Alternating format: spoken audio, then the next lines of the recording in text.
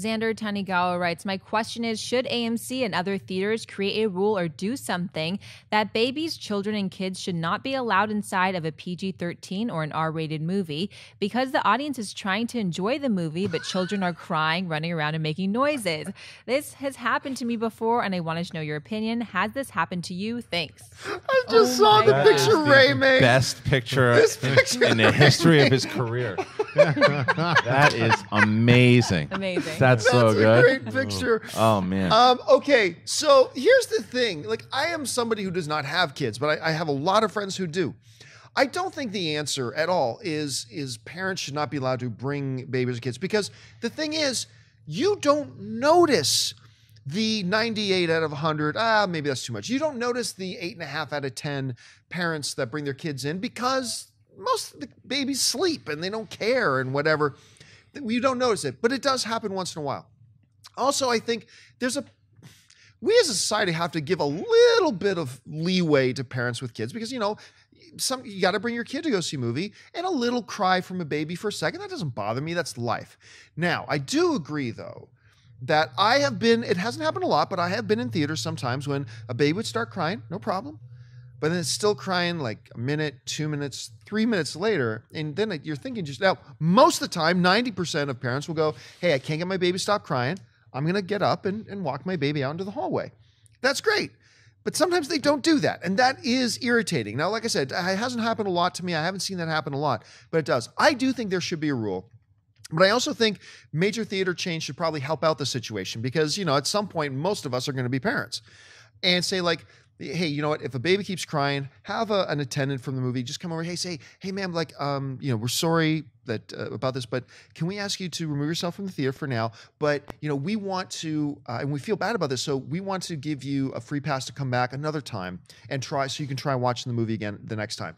Show a little bit of flexibility. It's easy for people like me and of us who don't have kids to just just be hard on people who do, but I think we need to give them a little bit of a break. You have children. yeah, I do have kids, and I say I disagree with you. I'm just gonna get them out.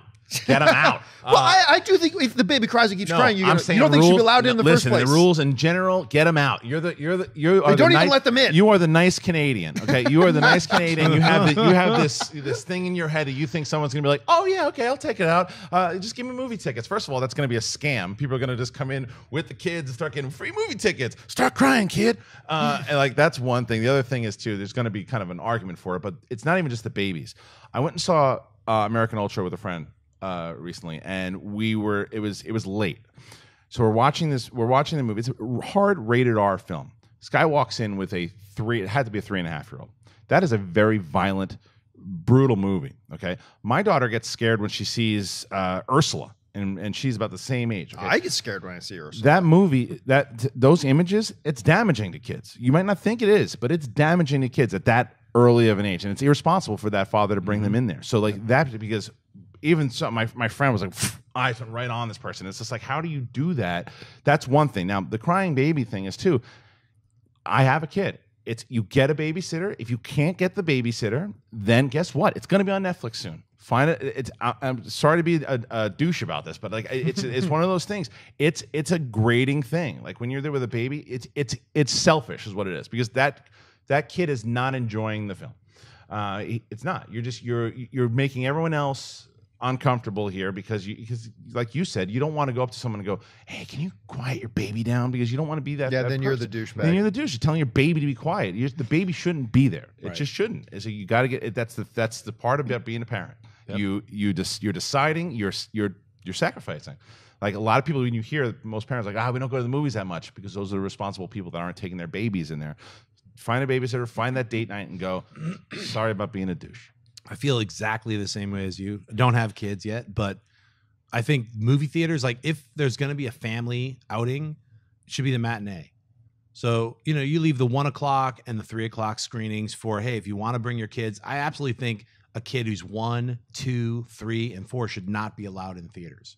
This is how I think. It's like, I think it's like, unless you can have, unless you can keep your kid quiet, like just like they're You've you've taught them the right way to be polite and things like that, where they're not running around the theater yelling and screaming and throwing things. I've been in theaters where that's happened. At like a seven o'clock screening, I'm like, "Where are the parents?" They're right there, not paying attention, just eating a popcorn. It's like it is. It's completely rude to a a community experience. That's what going to the movies is. It's not you're not in your living room.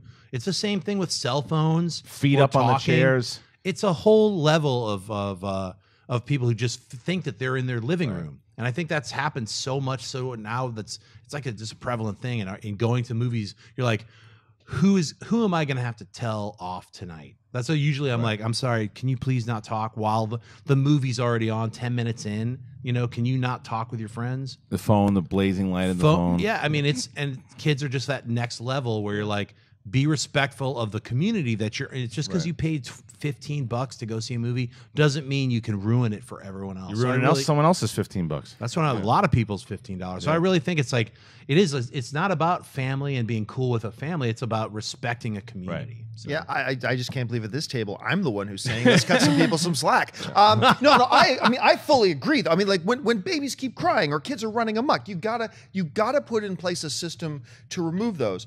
I just know that having sat in so many theaters as you guys have too, I know I've sat around families or people with kids, and ninety percent of the time it's fine. It, it's- it really I depends just on know that say, but I, it's like with you with R-rated films.